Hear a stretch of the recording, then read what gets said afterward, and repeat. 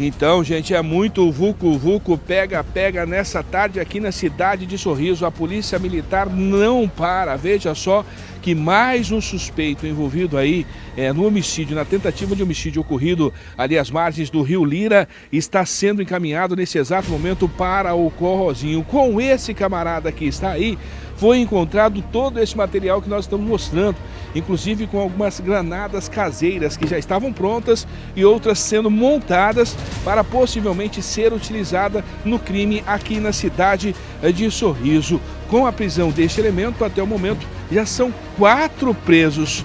E o detalhe, junto com ele também foi encontrado este revólver calibre 38 que não está descartada a possibilidade dessa arma ter sido utilizada aí na execução do cabeça. Agora a polícia trabalha para tentar prender o restante do bando. Participação direta no crime de homicídio, da tentativa de homicídio.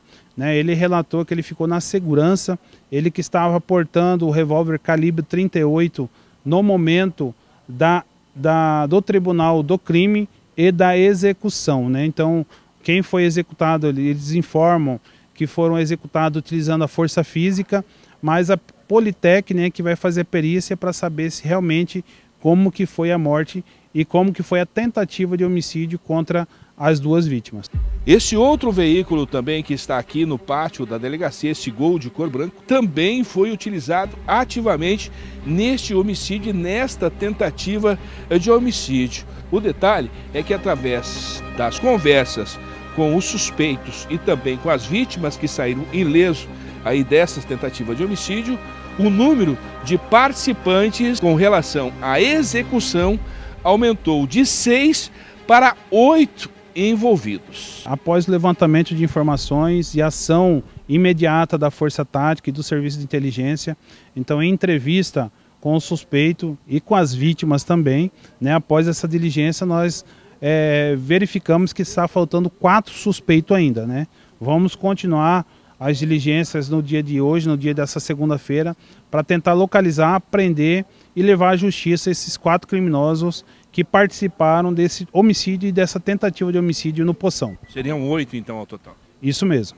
Tenente Coronel Jorge Almeida também fez questão de falar a respeito destes artefatos que nós estamos mostrando aí. Uma espécie de granada caseira feita com alguns acessórios de bicicletas e muita pólvora. É uma montagem caseira, né? Chegando, a guarnição da Força Tática chegou até a residência. Em entrevista com o suspeito, ele disse que ele estava montando, fazendo a montagem, então três estavam prontas e tinha mais 15, são pedaleiras, né, utilizadas em, em bicicletas, né, e que ele faz a montagem e com certeza é para ocasionar o terror, né, com certeza Anteriormente, naquelas outras apreensões desse tipo de explosivo, nós detínhamos a informação que eles iriam utilizar nos homicídios que eles iriam realizar. Então, com certeza, eles estavam confeccionando esse material explosivo para o mesmo objetivo. A intenção é de colocar esses quatro que ainda estão na braquiária atrás das grades o mais rápido possível. As imagens são de Michel Mores, eu sou o Joca de Souza ou de a hora que o fato acontece para a TV. Cidade Verde.